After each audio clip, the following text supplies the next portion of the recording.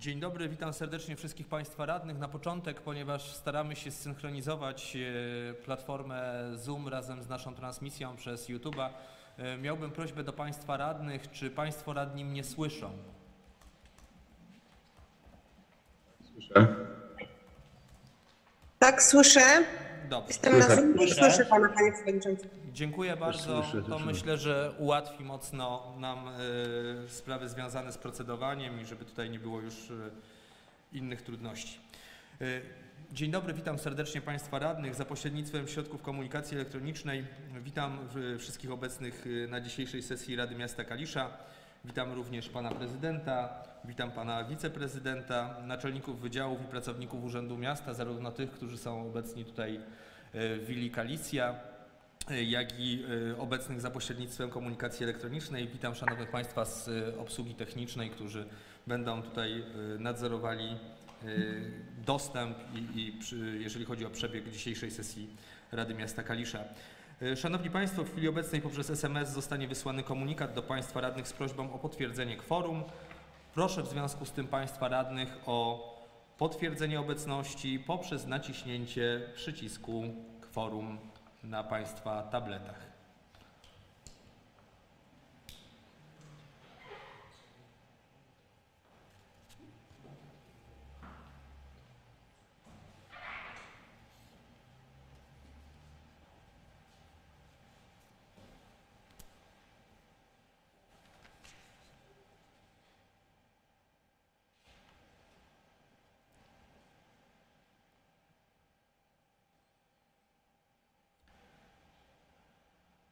Szanowni Państwo radni, Pan e, jeszcze nie potwierdzili obecności, Pan radny Tomasz Bezen, Pan radny Sławomir Chrzanowski, Pani radna Elżbieta Dębska, Pan radny Marian Durlej, Pan przewodniczący Eskandarwich, Pan radny Radosław Kołaciński, Pan radny Sławomir Lasiecki, Pan radny Piotr Mroziński, Pani radna Barbara Oliwiecka, Pan radny Roman Piotrowski, Pani radna Karolina Sadowska.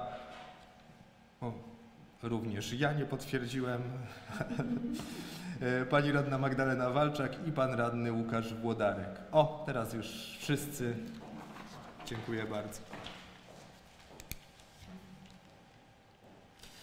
Szanowni Państwo, 4 grudnia do Kancelarii Rady Miasta wpłynęło pismo prezydenta miasta Kalisza dotyczące dzisiejszej nadzwyczajnej sesji Rady Miasta Kalisza. Otrzymaliście Państwo treść pisma do wiadomości. Proszę Pana Prezydenta o zabranie głosu w tej sprawie. E, Czy z mównicy też jest synchronizowane? Tak, to proszę bardzo.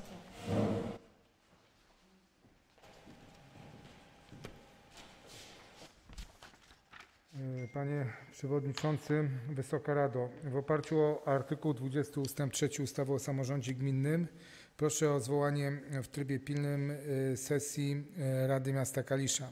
Prośbę swą uzasadniam koniecznością podjęcia przez Radę Miasta e, Kalisza uchwał e, w sprawie zmiany uchwały w sprawie określenia wzoru deklaracji o wysokości opłaty za gospodarowanie odpadami komunalnymi oraz określenia warunków i trybu składania deklaracji za pomocą środków komunikacji elektronicznej, zmiany uchwały budżetowej na rok 2020, zmiany uchwały w sprawie wyrażenia zgody na zawarcie porozumienia e, w sprawie wspólnej realizacji projektu pod nazwą Program Edukacji Zdrowotnej, wykrywania zakażeń HBV i HCV oraz szczepień WZW typu B na terenie aglomeracji kalisko-ostrowskiej. I czwarta uchwała e, dotycząca zmiany wieloletniej prognozy finansowej dla miasta Kalisza na lata e, e, 2020. W związku z powyższym przekazuję, e, znaczy proszę o przyjęcie tego porządku i podjęcie stosownych uchwał. Dziękuję. Dziękuję bardzo panu prezydentowi. W związku z powyższym na podstawie artykułu 20 ust. 3 ustawy z dnia 8 marca 1990 roku o samorządzie gminnym otwieram 33. nadzwyczajną sesję Rady Miasta Kalisza. Stwierdzam, że uczestniczy w niej 23 radnych, co stanowi kworum, przy którym można obradować i podejmować uchwały. Jednocześnie informuję, iż zgodnie z artykułem 15 ZZX ustawy z dnia 31 marca 2020 roku o zmianie ustawy o szczególnych rozwiązaniach związanych z zapobieganiem, przeciwdziałaniem i zwalczaniem COVID-19, innych chorób zakaźnych oraz wywołanych nimi sytuacji kryzysowych oraz niektórych innych ustaw, sesja odbędzie się w trybie y, zdalnym. Przystępujemy do kolejnego punktu. Szanowni Państwo, przechodzimy do punktu drugiego rzymskiego przyjęcie uchwał w sprawie. Pierwsze Uchwała zmieniająca uchwałę w sprawie określenia wzoru deklaracji o wysokości opłaty za gospodarowanie odpadami komunalnymi oraz określenia warunków i trybu składania deklaracji za pomocą środków komunikacji elektronicznej, strony 1.5 materiałów sesyjnych. W związku z prowadzeniem nowych zwolnień z opłaty za gospodarowanie odpadami komunalnymi na mocy uchwał Rady Miasta Kalisza podjętych w listopadzie 2020 roku konieczne jest wprowadzenie nowego wzoru deklaracji o wysokości opłaty za gospodarowanie odpadami komunalnymi. Określony niniejszą uchwałą wzór deklaracji o wysokości opłaty za gospodarowanie odpadami komunalnymi daje właścicielom nieruchomości możliwość prawidłowego wyliczenia wysokości miesięcznej kwoty opłaty oraz zastosowania zwolnień w części z tej opłaty z tytułu kompostowania oraz dla rodzin wielodzietnych oraz w części dotyczącej gospodarstw domowych, w których dochód nie przekracza kwoty uprawniającej do świadczeń pieniężnych z pomocy społecznej. Projekt uchwały pozytywnie zaopiniowały komisje merytoryczne. Komisja Rodziny, Zdrowia i Polityki Społecznej, Komisja Środowiska i Gospodarki Komunalnej, Komisja Rozwoju Mienia Miasta Integracji Europejskiej oraz Komisja Budżetu i Finansów Rady Miasta Kalisza. Czy ktoś z Państwa chciałby zabrać głos? Pan radny Tomasz Bezen, proszę. Przepraszam, nie w sprawie formalnej, ale tam jest jakiś taki pogłos. Yy, w ogóle pana przewodniczącego nie słychać. Yy, także coś tam się zlewa. Też pre- prezydenta też nie było słychać. Także nie wiem, czy u wszystkich. Yy, także ten problem zgłaszam. Znaczy, Zgadza się, głos pływa, panie przewodniczący. Jakiś, nie wiem, coś mikrofon jakiś dziwnie zbiera. Jest coś rzeczywiście na rzeczy, pan Bezen ma rację. Panie Przewodniczący, potwierdzam, na WhatsAppie sesja jest nie do słuchania. Naprawdę jest, nie, nie idzie rozpoznać głosu w ogóle jakiś. Na YouTube jest oczywiście w porządku. Czyli rozumiem, a ponieważ na YouTubie transmisja jest z pewnym opóźnieniem, to po- podejrzewam, że jest taki e, pogłos. Czy tutaj mógłbym poprosić o zweryfikowanie, jeżeli chodzi o kwestie techniczne? Proszę Państwa, e, poproszę o informację, czy teraz jakby ten głos mój już jest mniej, e, mniej pływa. Samo cały czas. Troszecz, troszeczkę się poprawiło, ale niewiele więcej. Dobrze, a Lepiej teraz? jest. Bo tutaj musimy odpowiednio wyskalować. Czy w tym momencie e, jest lepiej? Czy jestem... Teraz gorzej. Te, nie, u mnie już się troszkę poprawiło teraz, jak już tylko, że słab, słabsza siła głosu. Może jakąś próbę zrobić tego Dobrze. mikrofonu. Szanowni Państwo radni, czy teraz jestem słyszalny tak, żeby był mój głos rozpoznawany? Tak, Tak, ale tak. z pogłosem. Tam U jest mnie już teraz lepiej. Podgłosiłem, a jest lepiej słychać. Y, Przepraszam, Szanowni Państwo, czy u Was też przerywa głos? Bo u mnie, y, poza tym, że jest zniekształcony, y, z pogłosem już mniejszym faktycznie, Panie Przewodniczący, ale mm, takie są przerwy. Czy myślę, że to jest efekt różnic pomiędzy platformą a YouTube'em, ponieważ no, tak jak, jak wskazałem, jest chyba troszeczkę opóźnienia w, na transmisji na YouTubie, więc może z tego to wynika. Czy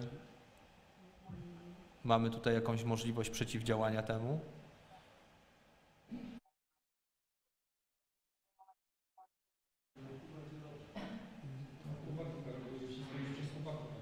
Ja rozumiem, bo tu też, żeby nie było trudności, a chciałbym, żeby Państwo radni po prostu mnie słyszeli, w razie czego gdyby chcieli zabrać głos, żeby nie było tutaj problemu.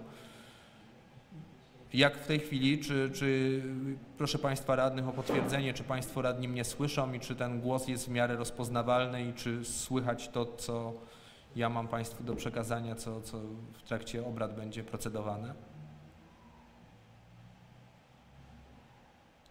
Czy jeszcze ktoś ma jakieś problemy techniczne?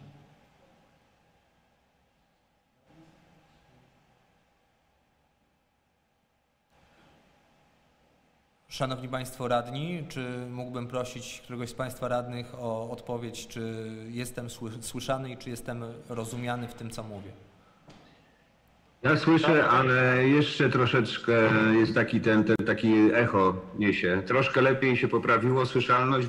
Już wiadomo, rozumiem o co chodzi, ale ten, ten głos jest jeszcze taki gdzieś jakby z jakiegoś taki pogłos z takim, nie wiem, tubą pogłosem mocniejszym. To nie, nie jest taki jednolity wyraźnie. Słuchajcie, jest dobra, ale można prowadzić. e, Także na, na tyle jest. Jeszcze panie przewodniczący jakiś wiersz poprosimy krótki, będziemy analizować głos. E, Panie radny, myślę, że sesja Rady Miasta to nie jest miejsce, na którym ja bym się swoimi oratorskimi możliwościami popisywał. Ale już pan dużo powiedział, słychać lepiej. Jeszcze troszkę poprosimy i będzie dobrze. Rozumiem. Czy teraz, bo tutaj widzę, że cały czas jest, jest zmieniane ustawienie, y, a ja mam pytanie, czy mikrofony nie chwytają po głosu jakby dwa? Bo jeden mikrofon jest przy mównicy, czy ten mikrofon z mównicy nie ściąga na przykład głosu? Także nie ma takiej możliwości. Czy teraz jestem w miarę dobrze słyszany? Panie Przewodniczący, jest Pan słyszalny i wszystko jest zrozumiałe, natomiast komfort słuchania to nie jest najwyższy, no ale widać musimy się z tym pogodzić, przynajmniej na tej sesji. Natomiast faktycznie gdyby ta sesja to jest sesja nadzwyczajna i y, punkty są w zasadzie na komisjach nie wzbudzały żadnej dyskusji większej, natomiast przy sesji już jakiejś normalnej czy budżetowej, no to Budżetowej, liczymy na rozumiem. to, że Zostanie będzie inny poprawiona jakość, słuchania, y, żeby to może transmisji. dopracować wtedy, a teraz kontynuować posiedzenie. Dziękuję. Dobrze. Rozumiem, że nie ma innych głosów. W związku z tym przechodzę do, y, do dalszej, dalszego prowadzenia obrad. Szanowni Państwo, przypominam, że jesteśmy w punkcie pierwszym, czyli uchwały zmieniającej uchwałę w sprawie określenia wzoru deklaracji o wysokości opłaty za gospodarowanie odpadami komunalnymi oraz określenia warunków i trybu składania deklaracji za pomocą środków komunikacji elektronicznej. Przechodzimy do głosowania. Kto z Państwa radnych jest za przyjęciem uchwały, proszę nacisnąć przycisk. Kto jest przeciw? Kto się wstrzymał? Proszę o naciśnięcie odpowiedniego przycisku.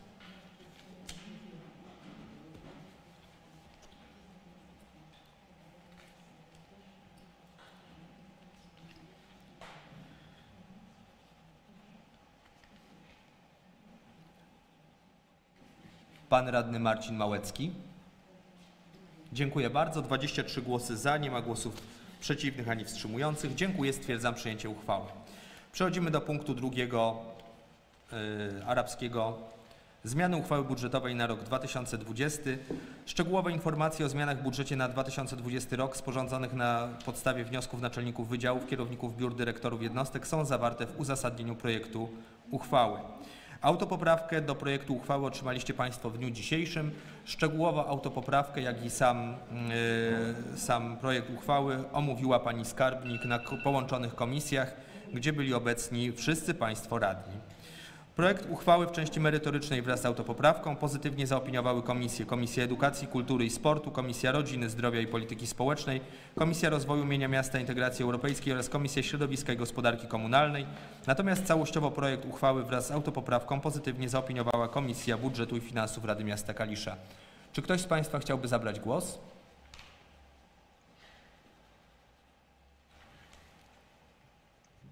Dobra, poczekamy.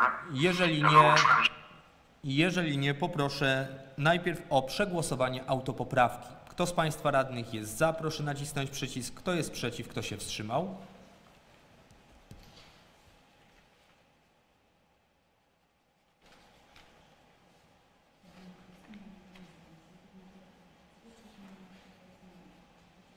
Pan radny Roman Piotrowski. 23 głosy za, nie ma głosów przeciwnych ani wstrzymujących. W takim razie autopoprawka została przegłosowana. Teraz proszę o przegłosowanie uchwały wraz z autopoprawką. Kto z Państwa radnych jest za, kto jest przeciw, kto się wstrzymał? Proszę o naciśnięcie przycisku.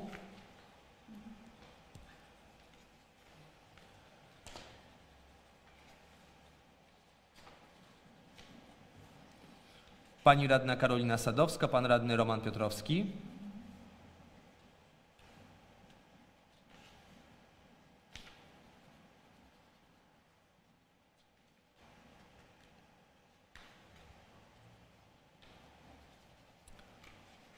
Pani radna Karolina Sadowska.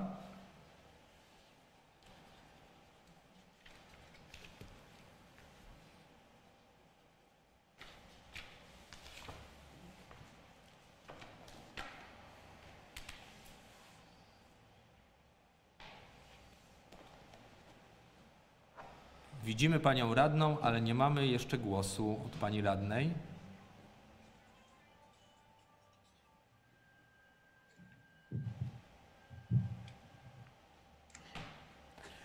Gdyby był jakiś problem, to proszę nacisnąć przycisk głosowanie po lewej stronie panelu. Cały czas staram się to zrobić, panie przewodniczący, i w ogóle głosowanie nie chce się załadować. Mhm. Poczekamy jeszcze chwileczkę. A klikasz głosowania, żeby sama wywołać je? Klikałam i cały Okej. czas trwa ładowanie. Okej. Aha, to chwilę poczekamy.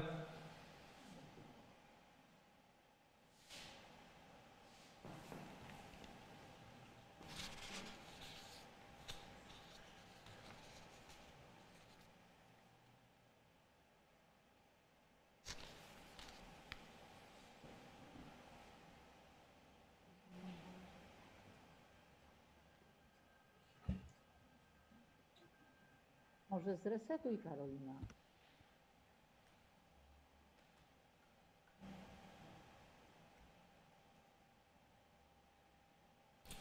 Dziękuję bardzo. Otrzymaliśmy już głos. 23 głosy za, nie ma głosów przeciwnych ani wstrzymujących. Dziękuję, stwierdzam przyjęcie uchwały wraz z autopoprawką. Przechodzimy do punktu trzeciego. Uchwała w sprawie zmiany uchwały w sprawie wyrażenia zgody na zawarcie porozumienia w sprawie wspólnej realizacji projektu pod nazwą Program Edukacji Zdrowotnej Wykrywania zakażeń HBV i HCV oraz szczepień przeciwko WZW typu B na terenie aglomeracji kalisko-ostrowskiej strony 15-16 materiałów sesyjnych. Niniejszy projekt realizowany jest w ramach Wielkopolskiego Regionalnego Programu Operacyjnego na lata 2014-2020. Przedsięwzięcie realizowane jest na terenie aglomeracji kalisko-ostrowskiej przez powiat kaliski, lidera wraz z partnerami.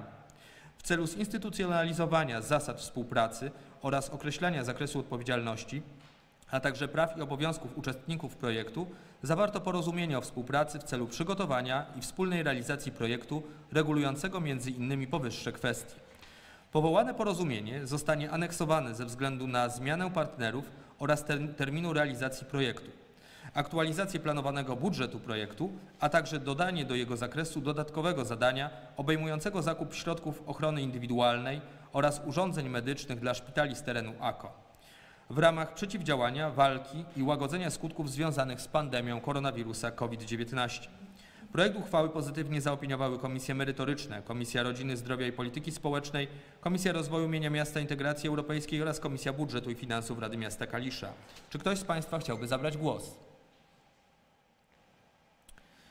Jeżeli nie, proszę o przegłosowanie uchwały.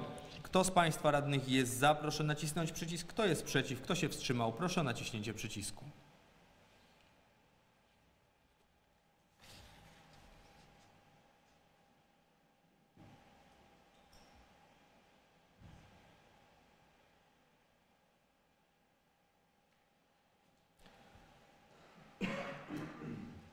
Pan przewodniczący Mirosław Gabrysiak i pan radny Radosław Kołaciński.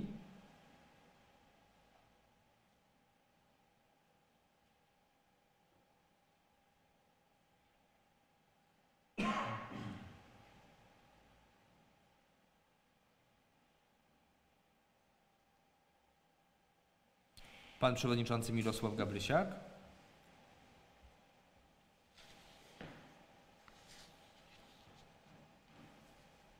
Dwadzieścia trzy głosy za, nie ma głosów przeciwnych ani wstrzymujących. Dziękuję, stwierdzam przyjęcie uchwały. Przechodzimy do punktu czwartego. Zmiany wieloletniej prognozy finansowej dla miasta Kalisza na lata 2020-2039, strony 17-42 materiałów sesyjnych. Podjęcie uchwały dotyczy urealnienia wartości budżetowych w załączniku nr 1 oraz zmian w załączniku nr 2 pod nazwą Wykaz przedsięwzięć do WPF, które wprowadzono na podstawie wniosków naczelników wydziałów oraz kierowników jednostek. Projekt uchwały w części merytorycznej pozytywnie zaopiniowały komisje, Komisja Edukacji, Kultury i Sportu, Komisja Rodziny, Zdrowia i Polityki Społecznej, Komisja Rozwoju Mienia Miasta i Integracji Europejskiej oraz Komisja Środowiska i Gospodarki Komunalnej. Natomiast całościowo projekt uchwały pozytywnie zaopiniowała Komisja Budżetu i Finansów Rady Miasta Kalisza. Czy ktoś z Państwa chciałby zabrać głos? Jeżeli nie, proszę o przegłosowanie uchwały. Kto z Państwa radnych jest za, proszę nacisnąć przycisk. Kto jest przeciw, kto się wstrzymał, proszę o naciśnięcie przycisku.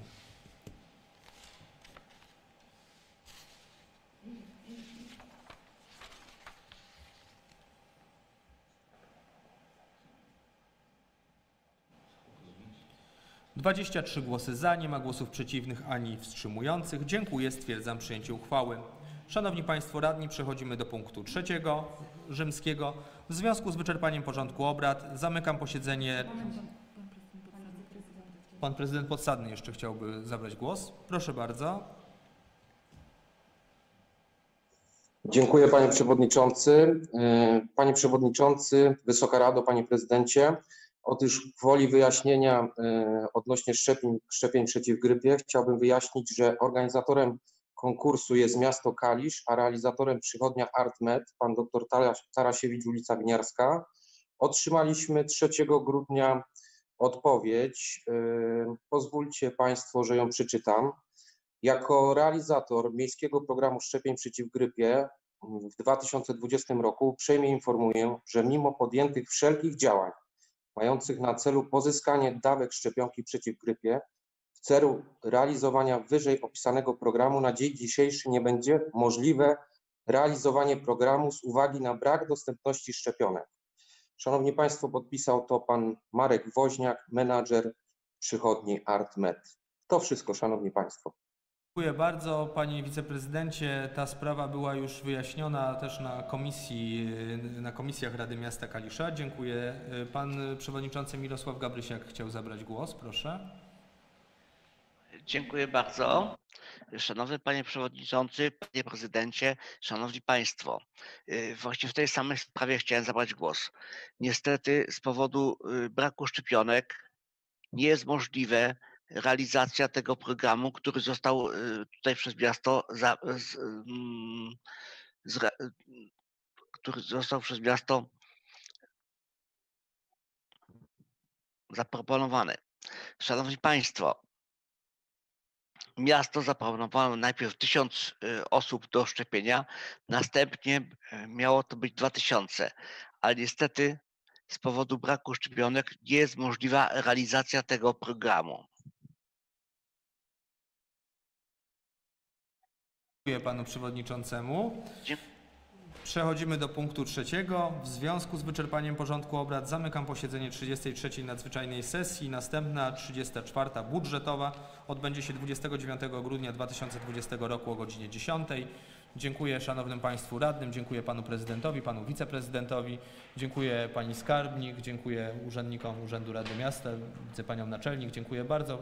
Dziękuję pracownikom Kancelarii Rady Miasta i panom tutaj z obsługi technicznej, którzy umożliwili y, transmisję naszych obrad.